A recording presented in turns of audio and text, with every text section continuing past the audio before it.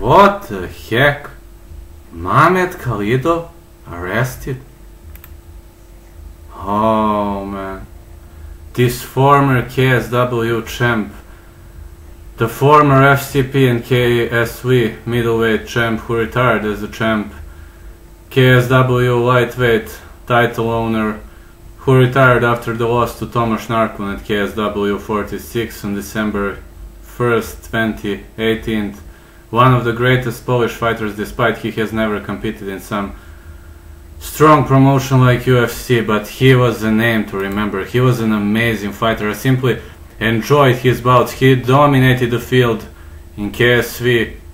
I mean, a double champ and now UFC despite expressed interest in signing Cannibal, but uh, the promotion, is, if I remember well, it was unwilling to match the substantial pay that KSW was offering for a fighter relatively unknown for the American audience. We can't discover how high Khalidov's peak was, but he went very very low. It should have been his last bout, the end of his public eye story, but unfortunately I just read the article that Mamed Khalidov is arrested for the illegal importation of lux luxury cars. It was like vehicles like Porsche Panamera, Range Rover Evoque, BMW M6, BMW 7 Series.